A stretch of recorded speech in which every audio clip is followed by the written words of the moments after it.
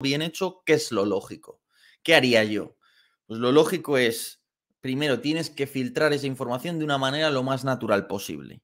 Obviamente, en cuanto se note que tú le has dado un periodista afín a ti para que lo publique, van a saber de dónde viene. Por tanto, eso no me conviene. Me conviene hacer parecerlo lo más inocente posible. Y en este sentido, esta ridícula historia de un agente que tiene acceso a, alguna célula de fusión de inteligencia de la comunidad de inteligencia de Estados Unidos, subiendo estas fotos en el marco de una conversación en Discord, es suficientemente disparatado como para creer que podría haber algo de verdad en esta filtración, algo de inocencia en esta filtración.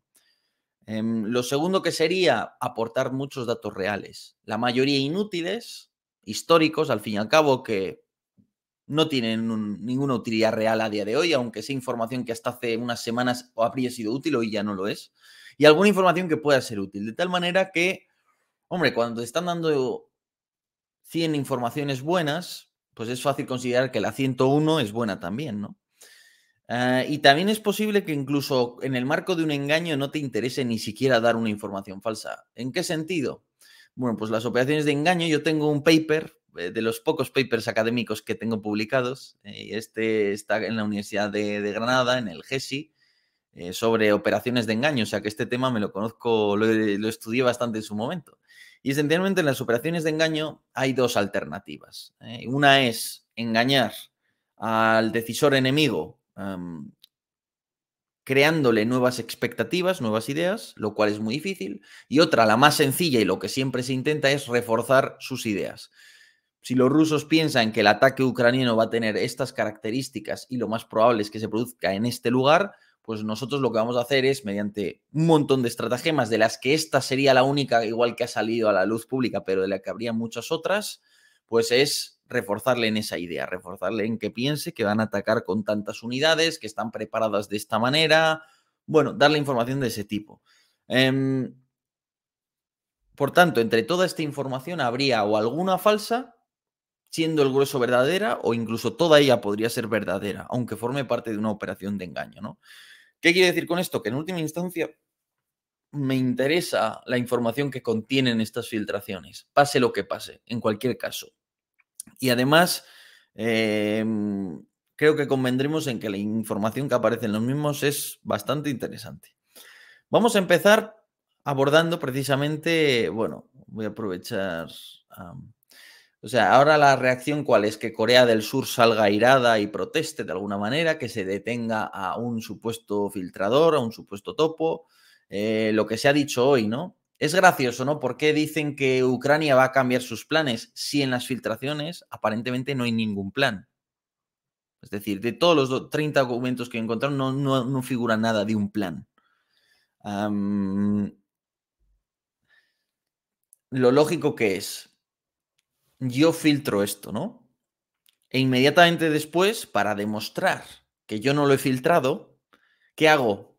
Intentar cortar de la manera más agresiva posible todas las fuentes de esta filtración, ¿no? Es decir, como quiero parecer que no la he filtrado yo, pues hago como que estoy intentando cerrar todos los canales que han filtrado los documentos, ¿verdad? Y lo hago también, que de hecho, a día de hoy yo he podido en una tarde recuperar unos 30 de los 50 documentos. Ahora bien, asumes que la inteligencia rusa ha sido lo suficientemente buena y rápida como para antes de que yo cerrara estos, hacerse con los 50 documentos. Y en esos 50 documentos, igual están los documentos donde se habla de planes de ataque. Y inmediatamente después, en Ucrania admite que va a tener que cambiar sus planes de ataque porque, claro, resulta que Rusia eh, ha podido acceder a ellos, ¿no? Pero fijaos que es todo bastante rocambolesco, ¿no? a mí en el marco de una ofensiva que esperamos de Ucrania, hacerme creer que esto no está planificado me cuesta mucho, porque es que lo veo muy obvio, muy justo a un mes de lo que puede ser la ofensiva ucraniana después de haber recibido material. No sé, me parece mm, muy probable que esto sea parte de una operación de engaño. Pero, nuevamente, el, objetivo necesariamente no tiene por qué ser desinformar, al contrario, si los rusos piensan X, a mí me puede interesar hacerles pensar X. ¿no? Por ejemplo, me puede, hacer, me puede parecer interesante hacerles pensar que tengo X debilidad, que puedo reunir 12 brigadas. Mm, En fin, eh, hay. Eh, sí, bueno, después de la filtración, dice Pablo, dice: Escuché que las cifras de bajas estaban photoshopeadas en favor de Rusia, que tiene de verdad esto. Sí, algunos youtubers cogieron, youtubers, bueno, gente de redes sociales cogió algunas de las imágenes y las alteró para manipular la cifra de bajas, porque la cifra de bajas interna que manejan los estadounidenses es muy desfavorable a Rusia. ¿Cuál es la cifra de bajas? Pues bueno, os lo voy a poner, de hecho, en el artículo de Political Room que, que ahí, ahí figura. ¿eh? Entonces, esencialmente, vale, artículo de Political Room, vamos a ir para abajo, para abajo, para abajo. Ya veis que hay un montón de imágenes, vale, está aquí. Estas son las bajas que manejan a nivel interno los estadounidenses, por tanto. Veis que se habla entre 8.000 y 41.000 bajas civiles. Bueno, esto no nos importa tanto efectos de la guerra. Ah, lo importante son las bajas militares, ¿no? Entonces, estiman que Ucrania ha tenido en bajas, no muertos, ¿eh? bajas entre 124 y 131 mil. Y luego en el caso ruso la horquilla es mayor porque obviamente tienen mayor incertidumbre, ¿no? Entonces, al final las bajas eh, rusas las estiman entre 189.000 y 223.000. Y a mí que me parece, me parece, quizás en los heridos me parece una cifra algo inflada, pero la cifra de fallecidos de ambas partes no me parece descabellada, me parece creíble. Em, más allá de ello, em, es cierto que dentro del propio documento, los propios estadounidenses dicen que es posible que tengan un sesgo en la metodología favorable a Ucrania, ¿no? Por tanto, la, cifra de Ucrania podría ser eh, superior. Bien. normalmente no me gusta ponerme tan, no sé cómo llamarlo, conspirativo cuando se habla de una noticia, pero es que en este caso las operaciones de engaño, para el que no las haya estudiado, son lo más retorcido que os podéis imaginar. Las operaciones de engaño son retorcidas hasta decir pasta realmente.